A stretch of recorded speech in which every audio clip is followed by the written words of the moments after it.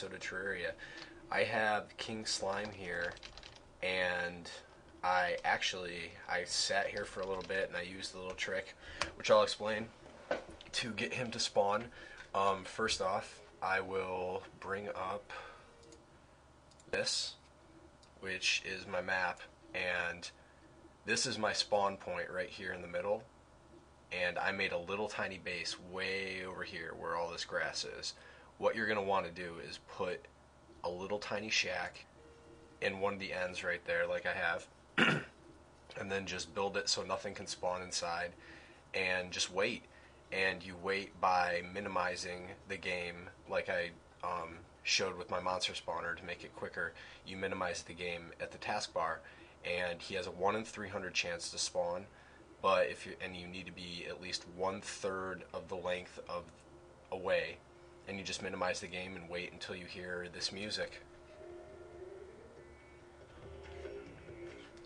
And alright, so let's fight him. He drops a piece of the ninja armor, which is what I want. So let's go after him.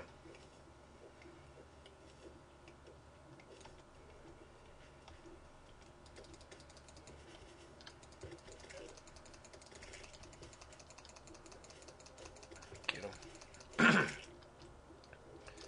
This guy is also new as of um, version 1.0.4, sorry. But he doesn't have much HP. He's only got he only has 2000 HP and he's really not bad at all. He's only doing oh, the little guys are doing 1 damage. He's doing 30 damage to me and I'm wearing full jungle armor set which isn't as much defense as the molten armor set.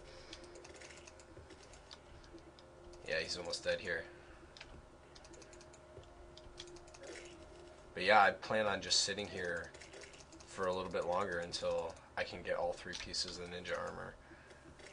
Or the social clothing, or, or whatever it's called. Got him. And the chest piece.